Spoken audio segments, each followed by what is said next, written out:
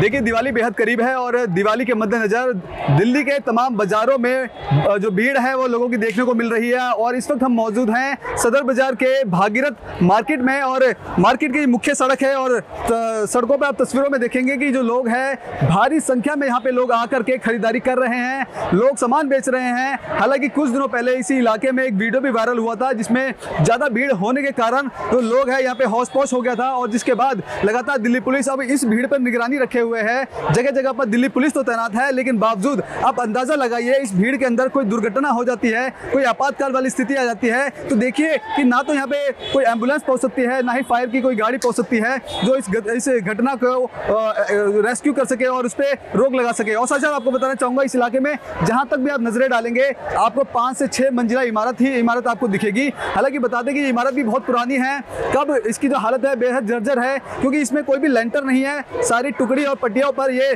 पाँच पाँच मंजिला इमारत बनी है। तो बेहद ही हैरान करने वाला मामला ये भी है क्योंकि इतनी बड़ी मंजिलें बन जाती है एम को खबर भी नहीं होती है और कोई दुर्घटना हो जाती है, तब इस बात को लेकर प्रशासन हरकत में आता है। ऐसे में देखिए, फिर से तस्वीरें दिखाइए आप, जो बिल्डिंगें हैं वो झरझर हालत में है, सामने वाले देखिए तो टूटी हालत में है, लेकिन बावजूद तीन से चार मंजिल बना रखी है और इस तरह की जो पूरे सदर बाज़ार में जो मार्केट जो बिल्डिंगें हैं वो बनी हुई है, ऊपर लोग रह रहे हैं, बीच में लोग रह रहे हैं और दुकानें भी चल रही है। ऐसे में कोई आगजनी वाली घटना कोई ऐसी बड़ी आपदा हो जाती है तो कहीं ना कहीं बड़ा जो हादसा है वो यहाँ पर होने की संभावना है। अब भीड़ देखिए देखिए, कैमरे को थोड़ा जूम करके दिखलाइए और जहाँ तक आप जूम करके देखेंगे जहाँ तक आप जूम करके नज़र डालेंगे तो यानी कि आपको सिर्फ़ भीड़ और भीड़ दिखेगी और आप खुद अंदाज़ा समझिए कि अगर इसमें कोई एंबुलेंस होती है तो कैसे निकल पाएगी, अगर कोई आग लग जाती है इस इन बिल्डिंगों में तो कैसे वो गाड़ी आग बुझाने वाली पहुंचेगी? तो कहीं ना कहीं बड़ी दुर्घटना के लिए यहाँ पे भी एक संकेत है एक तरह से कहा जाए और हालाँकि बताया जा रहा है कि जिस तरह से एमसीडी द्वारा जो परमिशन है केवल तीन से चार मंजिला इमारत बनाने की है, लेकिन बावजूद यहाँ पाँच से छः बनी है।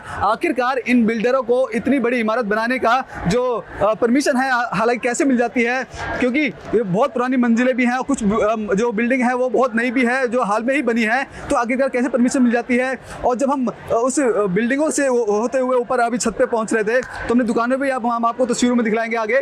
तो जहाँ पर ना तो सुरक्षा के कोई पुख्ता इंतज़ाम है, ना ही कोई ऐसा इक्विपमेंट है कि आग लग जाती है, कोई आपातकाल हो जाता है तो उस स्थिति से निपटने के लिए उन दुकानों में इक्विपमेंट हो। देखिए, भीड़ देखिए, आप भीड़ से अंदाज़ा लगाइए कितनी ज़्यादा भीड़ है और किस तरह से भीड़ है। हालाँकि आज तो थोड़ा आपको कमी दिख रही होगी क्योंकि पुलिस बल यहाँ पे तैनात है। हालाँकि जिस तरह से ये भी बताया जा रहा था कि यहाँ पे अवैध तरीके से पटरियों पर दुकानें लग रही थी, उनको बंद कर दिया गया है। लेकिन बावजूद आज भी पटरियाँ लग रही हैं। भीड़ आप देखिए कि किस तरह से हालाँकि बैरिकेड भी लगा रखे हैं, पुलिस के जवान भी मौजूद है। लेकिन बावजूद जो भीड़ है, उसमें कहीं ना कहीं कोई भी कमी नहीं दिख रही है। अब ऐसे में बड़ा सवाल यह है कि जब जब प्रशासन इस तरह से जो एम की जो जो परमिशन है, वो इतनी बड़ी बिल्डिंगों को बनाने के लिए नहीं है, लेकिन बिल्डिंग बन जाती है।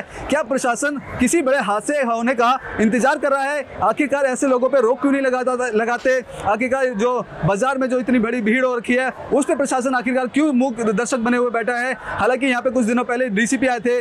मामला तब जो भीड़ को हटा दिया गया था, लेकिन आज फिर आप तस्वीरों में देखिए, दिखाया हमने कि भीड़ अभी भी है। तो ऐसे में बड़ा सवाल एमसीडी के ऊपर भी है, स्थानीय प्रशासन के ऊपर भी है कि आखिरकार जब दुर्घटना होती है तभी प्रशासन हरकत में आता है। जब अभी ऐसे हालत बने हुए हैं, तब जो प्रशासन है, वो हरकत में क्यों नहीं आया और क्यों ऐसे मामले के ऊपर कोई एक्शन क्यों नहीं लेता? ऐसे में लोगों को परेशानी भी हो रही है कि जो लोग दूर से आते हैं, उनको पार्किंग की व्यवस्था नहीं है, यहाँ पे शौचालय की व्यवस्था नहीं है तो ऐसे में जो लोग हैं, इस भीड़ से गुजरते हुए शॉपिंग करने के लिए आ रहे हैं और तमाम तरीके की दिक्कतें हो रही है। अब ऐसे में जिस तरह पुलिस ने भी बताया था कि इस इलाके में पट्टियों को हटा दिया जाता है तो ये जो जो लोग हैं, वो बेरोजगार हो जाएँगे, वो लोग कहाँ जाएँगे? तो हम यहाँ से मात्र सौ से डेढ़ मीटर दूरी पर एक कम्युनिटी हॉल है जो एम के द्वारा बनाया गया है, वो भी मैं आपको तस्वीरें दिखाऊँगा। ऐसे में आपने भीड़ देखी और पतली पतली सकरी सकरी गलियाँ आपने, हमने आपको दिखलाई कि कोई ऐसी घटना हो जाती है तो वहाँ से लोगों का निकलना भी बेहद मुश्किल है। तमाम गाड़ियाँ भी पहुँचना वहाँ पर मुश्किल है तो ऐसे में बड़ा सवाल प्रशासन के ऊपर है एमसीडी के ऊपर है कि आखिरकार बिना परमिशन की इतनी बड़ी बिल्डिंगें कैसी बना दी जा रही है। हालाँकि कोई पुख्ता इंतज़ाम नहीं है दुकानों में, लेकिन बावजूद दुकानें धड़ल्ले से चल रही है और ऐसे में प्रशासन को जगह जगह पर निगाहें बनानी बनानी चाहिए, क्योंकि त्यौहार के मद्देनजर बेहद ज़्यादा भीड़ है और भीड़ को भीड़ से कैसे निपटा जाए? हालाँकि प्रशासन को इसके लिए रोड मैप तैयार करना चाहिए। कैमरा पर्सन कमलेश कुमार के साथ मैं संदेशक सेना पंजाब केसरी दिल्ली।